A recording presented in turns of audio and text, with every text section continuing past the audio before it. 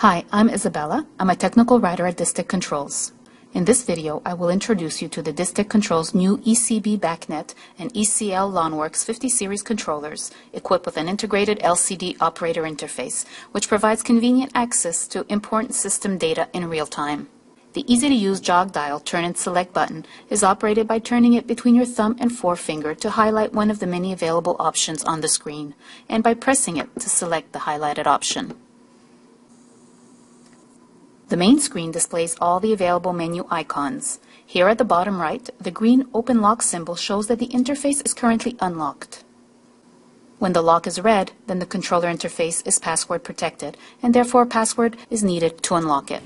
There are up to four levels of access passwords that can be set, and this is done in the ECGFX program graphical programming interface.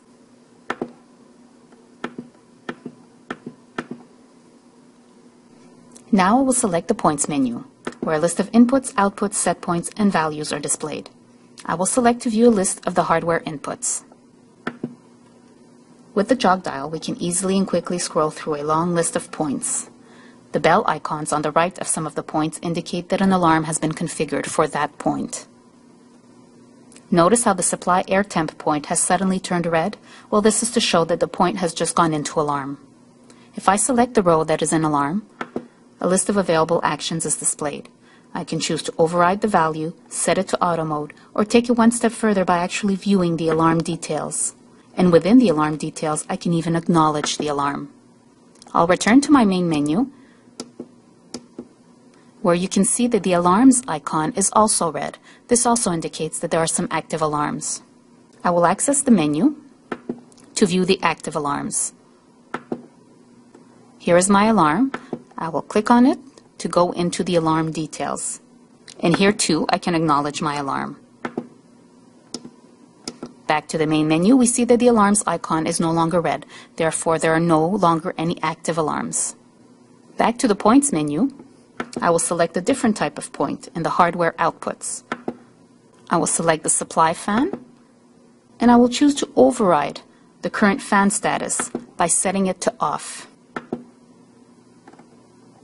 The row color changes to purple. This indicates that the point is in override mode. I can also override a point by editing a value.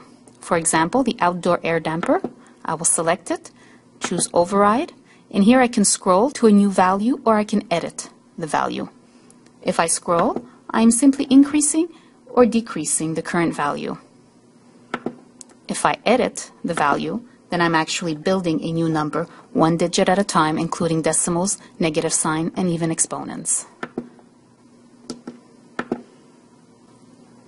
Now we see that there are two points in override. I'll return to my main menu again, where we see that the overrides icon is also purple, stating that there are some overrides. I will select the menu. Here I see my two points that are in override.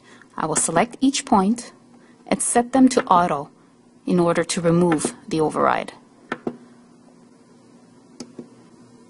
There are no longer any active overrides and the overrides icon is no longer purple.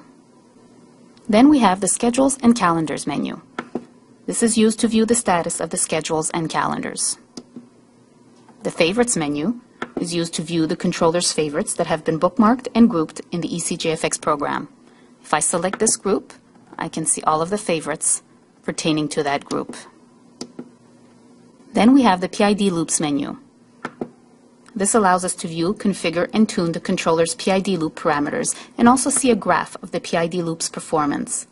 The graph is shown on the right, and on the left we have a list of parameters that can be configured as needed. Notice how the PID response graph is reacting to the PID settings.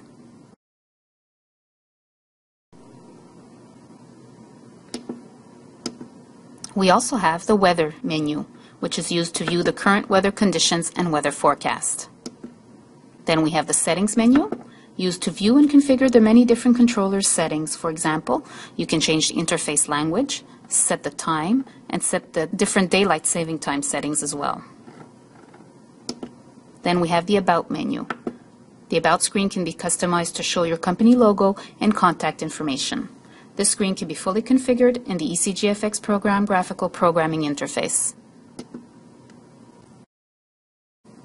This summarizes the main functions and characteristics of the 50 series controllers with integrated LCD operator interface.